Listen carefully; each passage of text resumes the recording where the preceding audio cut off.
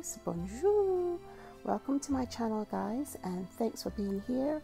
We've been touring um, Europe, and this is our second destination. Uh, check out the first of my uh, travel chronicles, which was in London. I'll put a link in the description so you can check it out. But yeah, we're so excited to be in Paris, the city of love. So the next day we were up early and ready, but guess what? It was pouring. I mean, raining cats and dogs. Not a fun day to be out, but this mama came prepared with ponchos that I had ordered from Amazon. Woohoo! So we were ready to brace the elements, and um, yeah, but because of all that rain, I wasn't able to film a lot, like climbing up the stairs and what have you. Um, but you know, I'm still able to capture a few things. So we couldn't get tickets to ride the elevator to the second floor or the summit.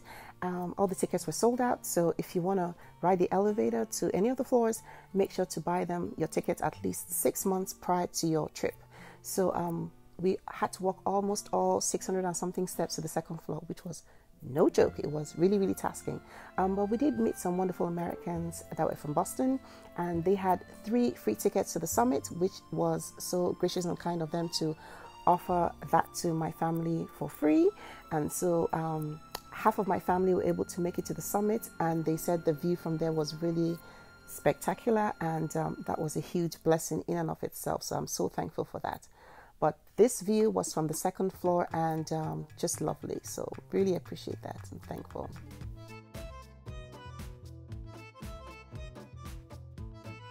Our next port of call was the Arc de Triomphe. Hi everyone, this is our um, second day in Paris and um, we wanted to come see the Arc de Triomphe.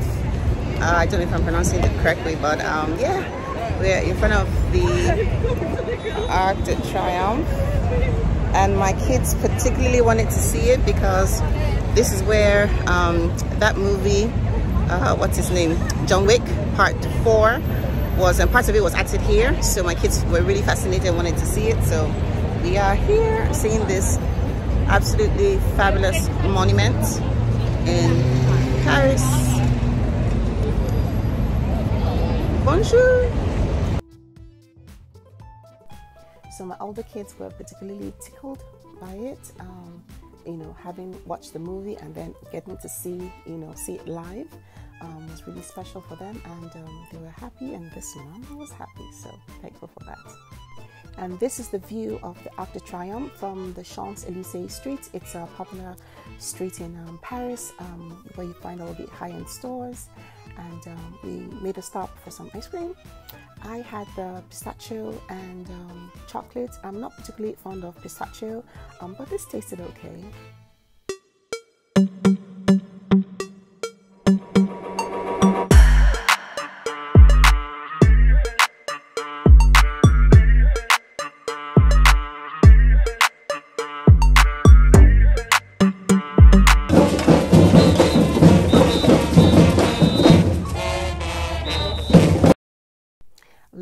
evening, my husband and I went on a dinner cruise. Sweet dreams are made of these. Yes. Oh, am I to disagree? I travel the world and the seven seas and want to use you. Some of them want to get used by you.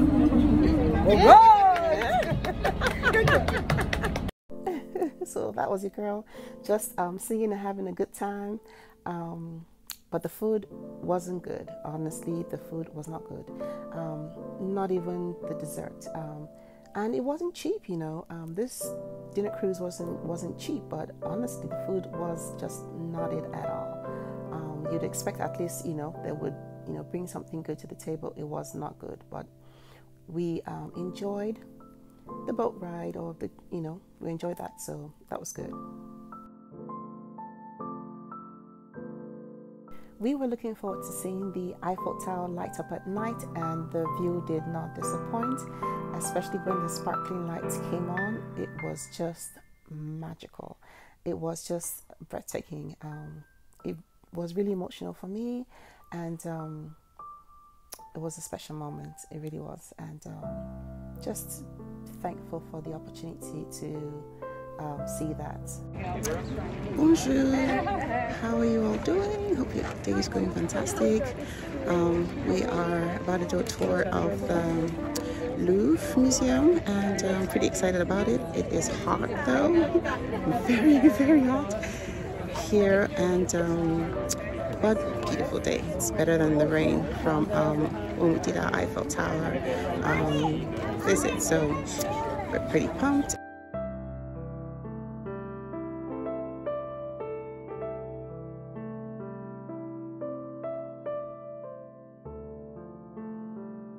So this is our tour guide, and um, he gave us the history behind the Louvre Museum. As a matter of fact, this used to be a palace like donkey years ago and was converted into the museum. So yes, I highly recommend if you're going on a tour of the Louvre, get a guided tour because the, first and foremost, the, the museum is so large, like you get lost in it. So you want someone that can give you piece of information every single step of the way, you know, of the tour. So, highly recommend it.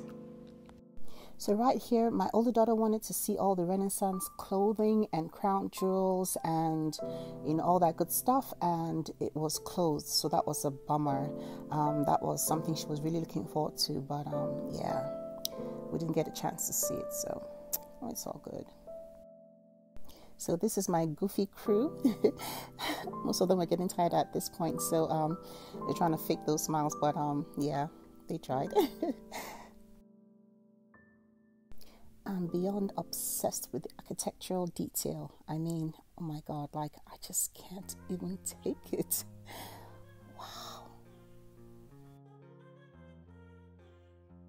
One of the art pieces I was looking forward to seeing was the Mona Lisa, and um, the queue to see her was incredibly long, but I got to see her face to face, so I was pretty excited about that. Wow, what a stunning piece!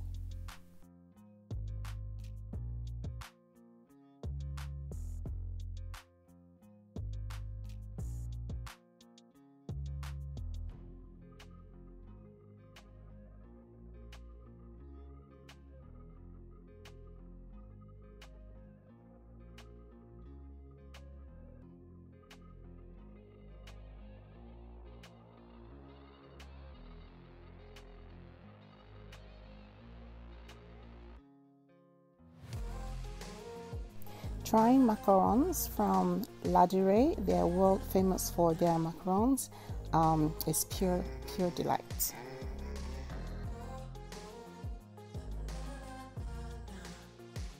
So one of the places I was looking forward to visiting here in Paris was Cedric Grolet's um, bakery shop.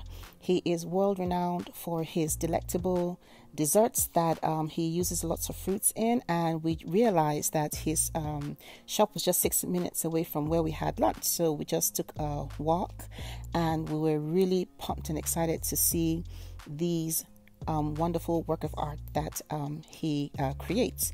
And so here we are in line waiting to um, for our chance to get in, and the queue was almost two hours long. Bienvenue chez l'équipe de Cédric Melin Opéra. Bienvenue. Bonjour. Bonjour, bienvenue à vous. No. English? English? Okay. So for today we have the two flavors. Okay. The special with raspberry. Next is cherries and apples. And on the other side we have sorry. We have the pistachio cookie, the strawberry and the raspberry. Okay. and the wait was so worth it. This was by far my favorite cookie, and um, we took we got one of each um, that it had each cookie that it had in the shop, and we tried that at home. And honestly, it was really worth the wait and the price. They're like 20 something euro for one, um, but it was really worth it. Thank you. And we are off to our next adventure. So we got up pretty early, got to the airport about two hours before our flight. And what do we see? A huge queue. I mean, like from here to Jericho. And there are only three attendants. And so the chances of us getting on that flight was zero, absolutely zero. So I was like, okay, I just resolved in my mind we're not getting we're not going to get on that flight, and they only had one flight going to Milan, and then from nowhere this lady just walks up and says, "Is anyone here going to Milan?" And we just raise our hand like just us, just all six of us going to Milan. She says, "Okay, come this way."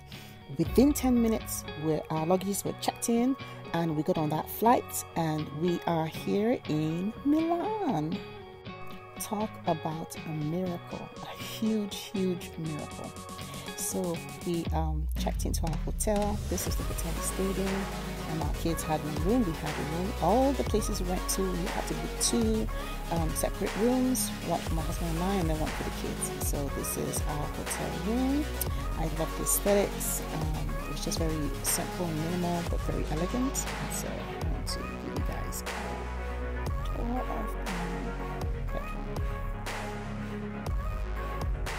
it's always been my dream to come with my family to Italy and to um, experience it. I can tell my little girl she's so so excited, just skipping away, and um, it was just so much fun to be here um, together experiencing um, Italy. So yeah, we had dinner. Food was so good. Oh my God, everything tasted so rich and so delicious. So yeah, it was our first night in Milan. Buongiorno. So I'm typically not a coffee person. I drink tea, but um, they say if you're in Italy, try their coffee, and that's exactly what we did. The coffee really tasted very good, um, very rich, and um, our hostess that was serving us breakfast every morning, uh, she'll serve us in this um, little um, mug, and she said that um, you know that's all they usually drink you know just that one in the morning um, the italians. Um, but we had quite a few cups and she was quite alarmed that we could drink that much coffee like two three cups of that little um, coffee every day. She was quite alarmed and i said yeah in america you know everything is um, you know big. So yeah our portion sizes are quite big. So anyway um, so here we are um, off to the Duomo de Milan. It's actually um, think, one of the largest cathedrals in the world. Um, it's also called the Duomo di Milan. Um, it's known for its, you know, grand Gothic architecture, and it has about 4,000 collection of um, statues and figures. We were actually told by our tour guide that it took nearly six centuries to complete the cathedral. And I'm like, what? That long? but when you see it in person, it's truly a work of art. It's really, really spectacular.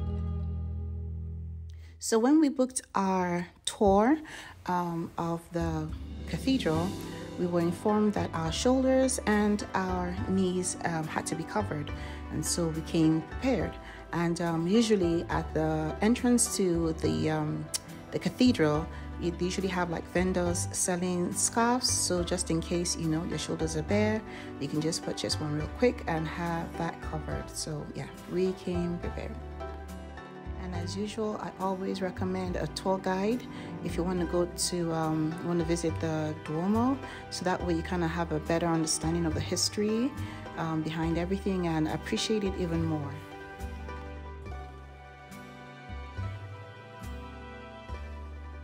So even though the elevator had taken us up until this point, um, we still had to walk a few steps to get to the very um, top, the rooftop, um, to see to get a better view of um, the city from here. So, but it was particularly hot on this day, and so it made the walk even more treacherous. But we finally made it to the very top.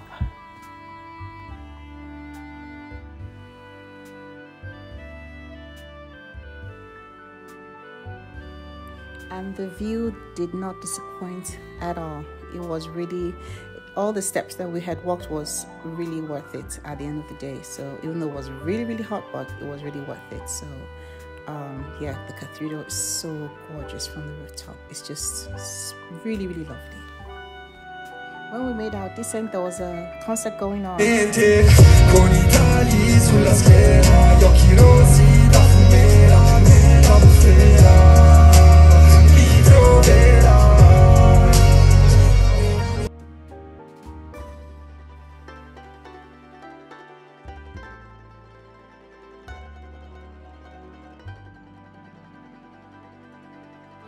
So after all that walking, it was time to grab something to eat. We were starving.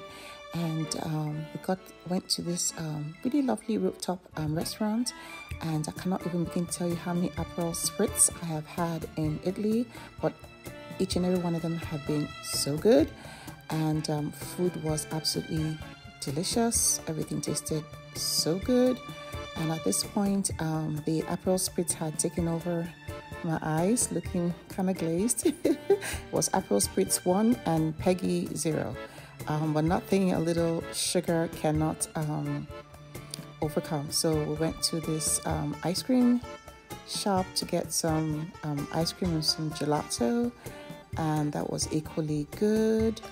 Just look at all that goodness. Mm, yum, yum, yum.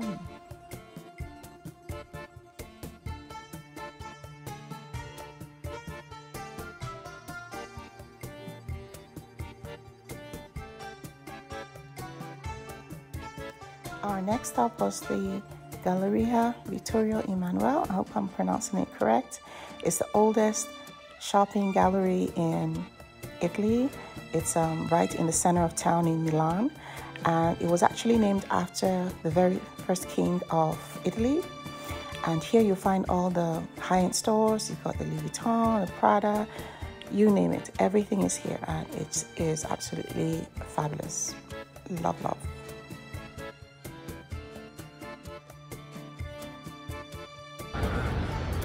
Love it here in Italy. It's so beautiful. I love this place so much. I really do. Um, we were quite intrigued by these um, water fountains, drinking fountains, um, almost in every nook and cranny, and they um, have very safe water that you could just fill your water bottles with and I thought that was really cool, very neat that the locals don't have to um, purchase water, but just you know fill your water bottles up. So that was really cool. Anyway, next day we were off to on a boat ride to um, go see Lake um, Como and um, Bellagio. So that was really um, very nice. Our tour guide told us this was where all the rich and famous live, like Ocean 12 was filmed in that house, and um, where John Legend got married as well. Not in this particular one, but another home, and um, Versace's house that was sold to Russian billionaire for $30 million. Wow, that's a lot of money. Um, George Clooney has a home here as well, and um, House of Gucci was actually filmed in um, one of these homes as well. And um, yeah, all really fabulous. This one in particular, this one right here, um, is where um, Casino Royale was acted and Star Wars as well. So really, really fabulous. Look at right there on the hill. Looks really, really gorgeous. Wow, to be rich and famous.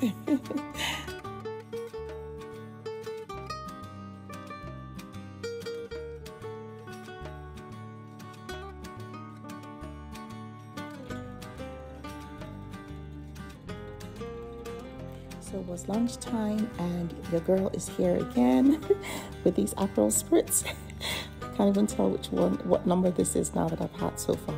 Um, but as usual, you know, uh, everything tasted um, so good and um, authentic Italian dishes. You know, everything is just rich. You know, everything just tastes really, really, I don't know, just rich. So, um, yeah, food was really, really good.